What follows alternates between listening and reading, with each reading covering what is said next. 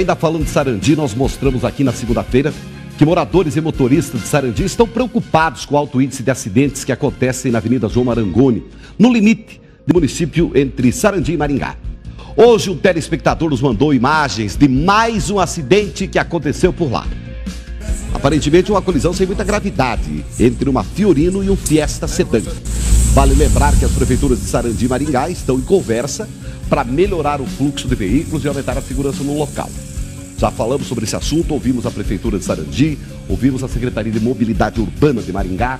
Está sendo feito um estudo para ver quantos carros passam ali por minuto, para ver aí a sincronização dos semáforos e a implantação de um semáforo nesse cruzamento entre as duas, entre a rua que divide as duas cidades. Então, pessoal, enquanto isso, muito cuidado ao passar aí pela Marangona, tá bom?